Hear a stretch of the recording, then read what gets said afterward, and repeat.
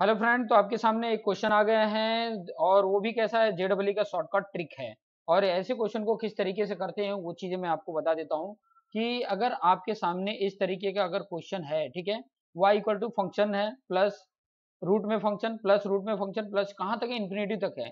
तो अगर इसका D Y by D X आपको पता करना है डिफ्रेंशिएट पता करना है तो आपको क्या करना पड़ेगा? यहाँ पे फ़ंक्शन जो भी होगा उसका डिफ्रेंशिएट कर दीजिए और टू वाई माइनस वन लिख दीजिए।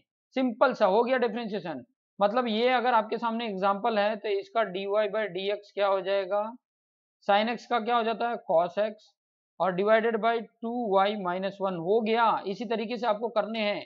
ऐसे अगर क्वेश्चन जब भी, भी दिए जाते हैं तो आपके सामने एक क्वेश्चन में देता हूँ Y equal to under root cos X plus under root cos X plus under root cos X कहाँ तक है? इन्फिनिटी तक। इसका आपको डिफ्रेंशिएशन करके बताना है।